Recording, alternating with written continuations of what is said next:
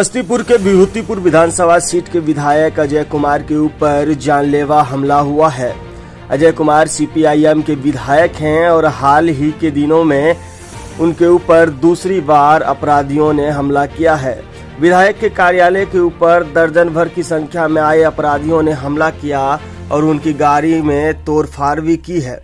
इस दौरान उनके गार्ड को चोट भी आई है। विधायक के गार्ड अनिल राम ने बताया कि लगभग 12 से 15 की संख्या में लोग विधायक अजय कुमार के पार्टी कार्यालय पर पहुँचे और बाहर खड़ी गाड़ियों में तोड़फोड़ शुरू कर दी। जब उन्होंने रोकने का प्रयास किया तो अपराधियों ने उनके साथ मारपीट की।